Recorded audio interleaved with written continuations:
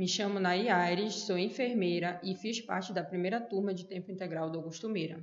Devo a minha entrada na Universidade Federal do Maranhão a essa escola, que me preparou para alcançar esse degrau acadêmico.